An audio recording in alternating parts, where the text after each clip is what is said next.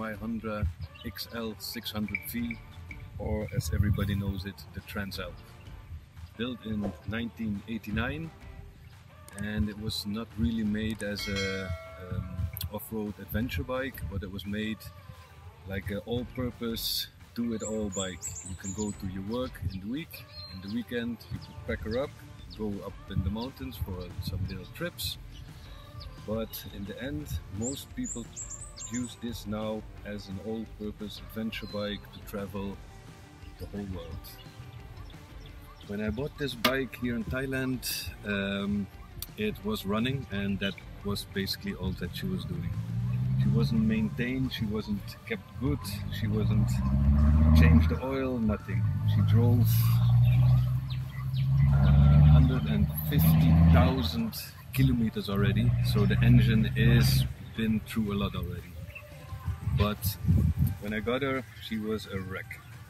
Of course, I changed the oil, the oil filter. Oil was black as hell. I, even after three times changing, the oil still kept coming out full black. So we did five times oil change uh, and got the engine a little bit clean from the inside. Uh, the front brake the oil pipe to the brake was also full black oil to change and clean everything. We put new brake shoes in it. We changed the oil from the front spring. We cleaned up the brake in the back. Of course, we did uh, the new tires, new tubes inside. Also the exhaust system was not 100% anymore where was the connection from the two header pipes going into the single one? Was fully rusted off so I had no choice but to make a good exhaust pipe on it. So we welded the pipes put uh, Akrapovic imitation pipe from China on it have much more better airflow and is much more lighter. The original pipe weighs maybe 10 kilo or something and this weighs 1 kilo. So save a lot of weight on that one sounds better, drives better, all the way somewhat you don't want to miss out on. Make the pipe.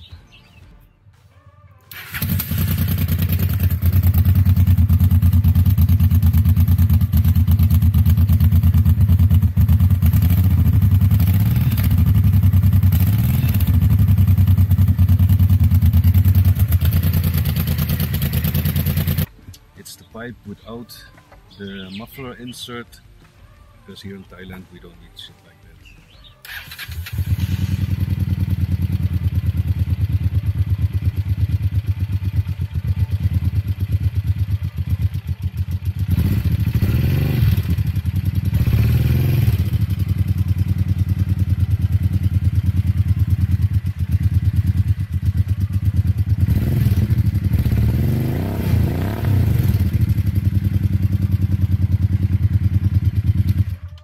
Only few modifications I still would like to do.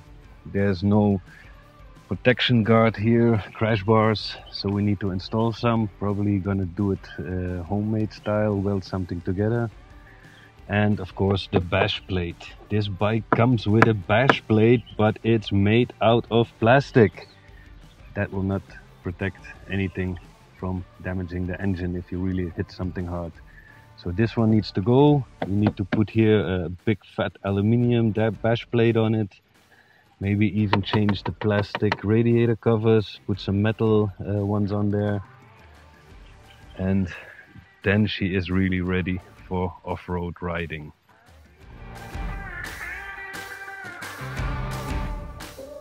This Transalp got the nickname Thai Twin. We were in the Honda shop, the Big Wing in uh, Hua Hin, and I was looking if I could get some spare parts. And they asked me, "What bike you have? What bike you have?" It's the Transalp. They didn't understand. The bike was too old for these people to know what is a Transalp. So I showed them the picture, and they say, "Ah, now we know. It's the African Twin." But no, it's not the African Twin. It's the small little baby from the African Twin. It's the Transalp and because in Thailand the twins uh, are always a little bit more smaller than the African women so we call her now the Thai twin make official good logo from this, sticker it up, and now she is the Thai Twin. To make an adventure bike really adventurous, you need to have some luggage system. This was on already from the Givi, but I bought some low quality, more cheaper boxes to go on. So they fit on the rack system, had to modify it a little bit. Uh, but the nice thing about these boxes, they actually have some LED lights in them.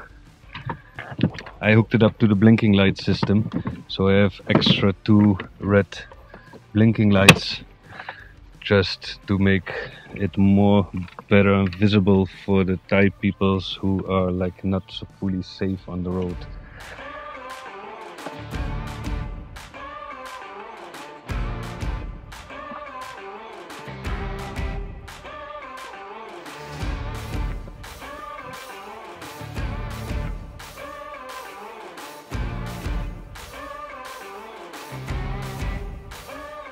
These blinking lights are also custom blinking lights.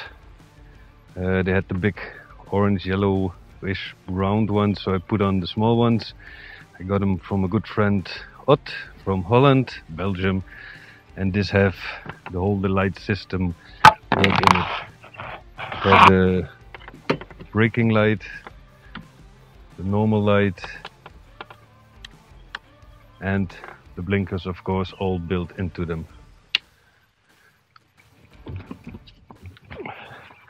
And of course you cannot miss out on a big top box.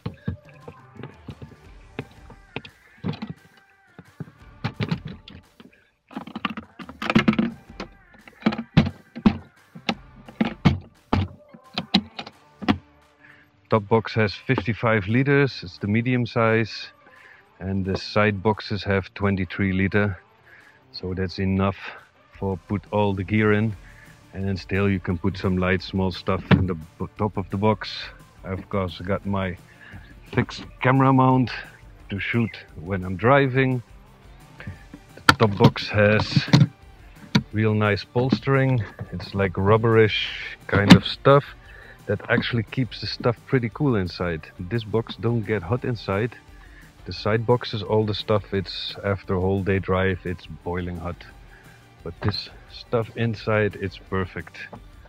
So maybe in the future I'll also upgrade the side boxes and put some bigger aluminium boxes in it with the same lining that has the big box. But that is all still future plans next year next year.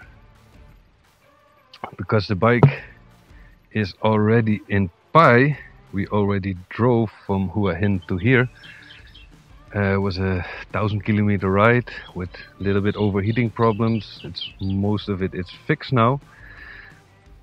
We came to Pai now. It's from Chiang Mai to Pai, 762 curves in about 150 kilometers. And the first 60, 70 kilometers is just highway. So this 762, it's about little bit less than 100 kilometers. And because we drove it already we're gonna officially tag it on the box.